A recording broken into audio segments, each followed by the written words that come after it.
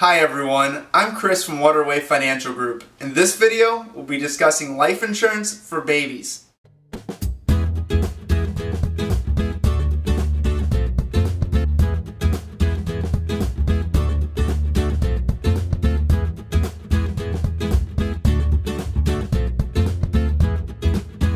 If you or a loved one recently had a baby, congratulations! I know it's an amazing time for everyone involved.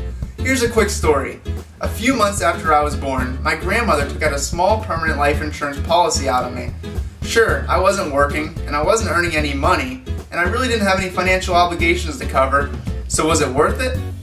Good question. The topic of life insurance on babies is highly debated in the life insurance industry, and my conclusion is that it's completely up to you.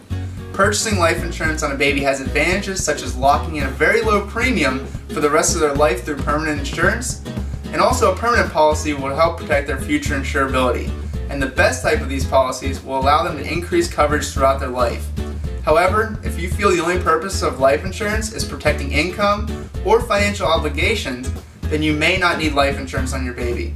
It's completely up to you. But if you don't feel your baby needs life insurance, it still doesn't mean you don't need life insurance. If you're someone who provides for the baby, then a policy on you will help protect the financial well-being of the child if you weren't around. Parents do need life insurance. If you have any additional questions, be sure to get in touch with us, and thanks for watching.